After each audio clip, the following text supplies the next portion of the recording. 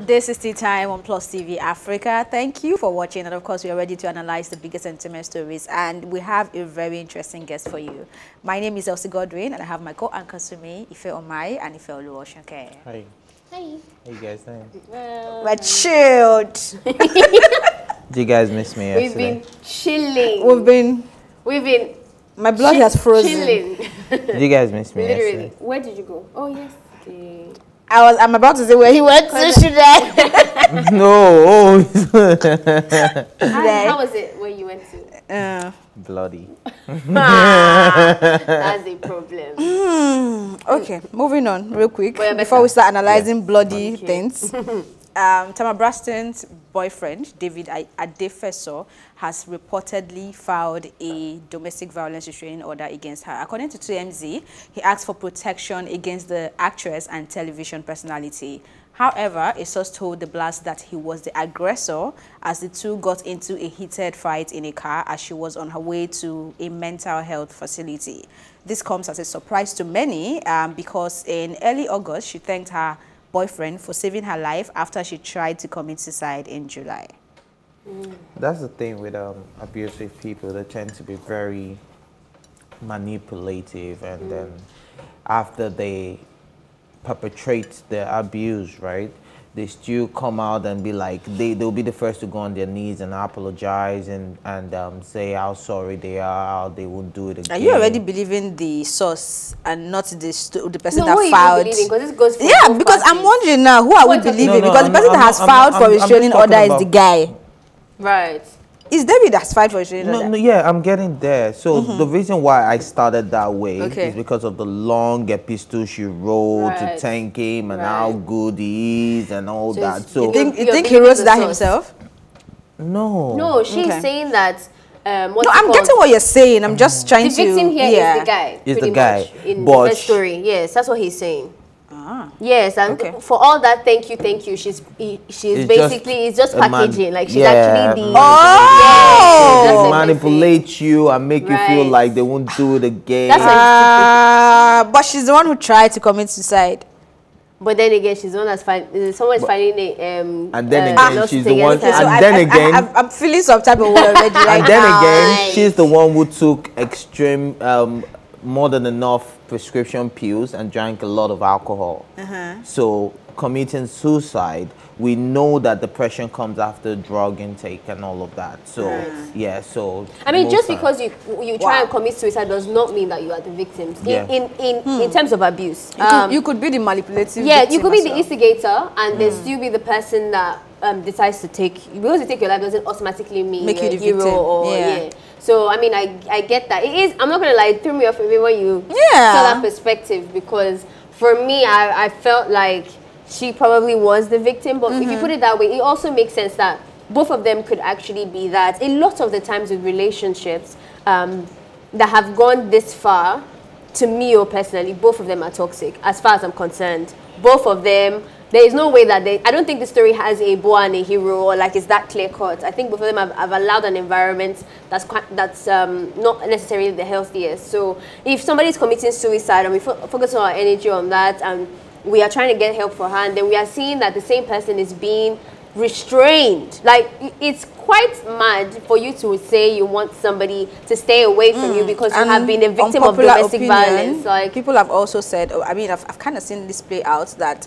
So yes, we know the person has mental health issues, has depression issues, but then when manipulation enters it, Yeah. and you know that this is my situation, I'm supposed to be seen as vulnerable in the society, then you begin to use that condition of yours to mm. manipulate other people. Mm. That Yeah. happens as well. So, like you said, I, I feel like both of them. I mean, I totally agree with you. So I won't start repeating all you have said. They are both toxic for each other, and I hope that they find get help soon. Mm. And, and The only reason I'm not going to agree with Ife completely, though, is because of the family member's statement when the, the suicide happened. So I still feel in my gut that Mm-hmm. guy the guy is the um, victim, and it is the same. The guy victim? I mean, sorry, the guy is the perpetrator because the same me. the same thing that Ife is saying that she used her words and ever and whatever to kind of cover her tracks. Mm-hmm. I feel like we could say the same thing for the man that he is filing for a restraining order for domestic violence to look innocent when the, when Trust truly me. he's the one When- perpetrating it. Because they mentioned that he was they were very surprised about how he reacted when um, when he denied that they had had any um, altercations and everything was fine just before she committed suicide. And then the family members came to reveal that no you guys were not fine. You were fighting and all that type of stuff. So Trust me, mm, when people are abusive, right, they make it look like you gave them the reason to be abusive, regardless of what you have done. Yeah. Does it give anyone the right to lay a hand on you, especially in a relationship? Do you understand? It doesn't. No. So, So you strongly feel that the guy is a victim? no, I'm In just terms of domestic abuse. In terms of domestic Yes. abuse now. Doesn't mean that she's not the one that perpetrated the yeah, doesn't reason mean- why- Yeah, but when she's yeah. going around to tell her friends the story or her family members the story, she say, "Ah, do you know what I did? I caught him with three women. I caught him with this. I caught," and then she's giving different stories Okay. to make him look We'll like see a bad that, that, guy. to me, that, that to me, I, honestly, I'll take that. I'll take the fact that it is possible that Tamara actually is the instigator of everything ill, but she's the one.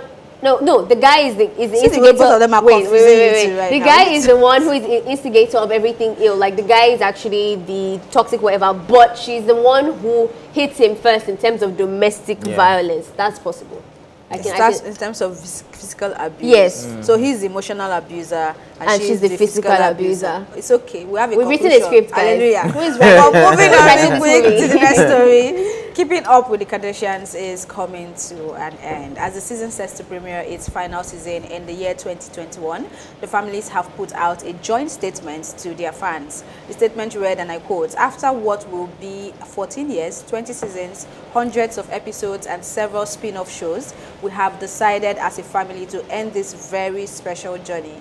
We are beyond grateful to all of you who, who have watched us for all these years, um, through the good times, the bad times, the happiness, the tears, and the many relationships and children. We'll forever cherish the wonderful memories and countless people we have met along the way. End of quote. The statement was signed by Kris Jenner, Kourtney, Kim, Khloe, Rob Kardashian, Kendall, Kylie Jenner, and Scott Disick. For those of us who don't watch KKW, right? Yeah, You know, T-T-Y-X-D. Yeah. yeah, yeah. For those of us who don't work keeping up with the Kardashians, right? Um, I would say keep it um, good readings, the bad rubbish. Ah.